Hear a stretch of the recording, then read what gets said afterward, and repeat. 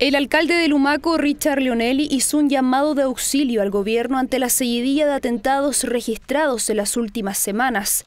El edil manifestó que se sienten desprotegidos, que no existe patrullaje preventivo suficiente y que esto ha generado una sensación de inseguridad en la población.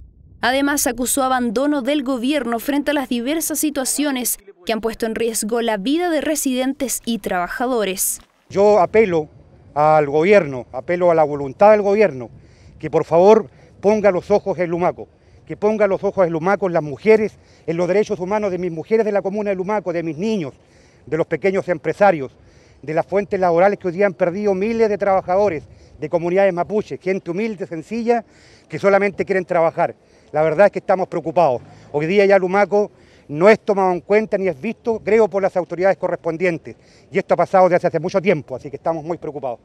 El alcalde se refirió a la falta de recursos que afectan al municipio y que les impide ayudar de mejor manera a las víctimas de violencia. Y agregó que necesitan más centros de salud y mejorar la conectividad de las rutas en la comuna. La verdad es que las medidas que se tomen tienen que ser medidas efectivas, pero concretas, y pensando en las comunas que son más afectadas. Hoy día la violencia se ve como una, como una situación general, no tanto en la región de la Araucanía, sino que en todo el país. Pero Lumaco no tiene los recursos hoy día para poder atender a las víctimas. No tengo ambulancias, no tengo centros eh, de salud de urgencia en Capitán Pastene.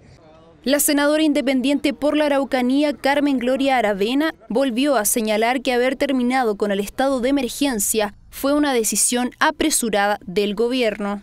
Creo que se tomó una decisión apresurada, santiaguina en mi opinión, de retirar eh, las Fuerzas Armadas que principalmente ayudaban a carabineros a hacer las guardias y todo el recorrido que hoy día no se hace.